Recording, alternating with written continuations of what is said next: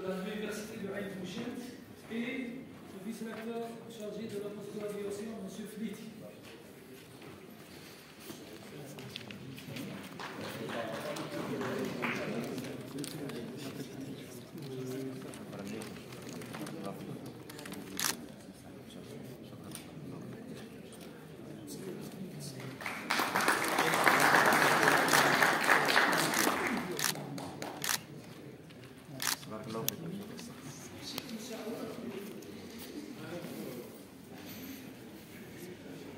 Voilà, je crois que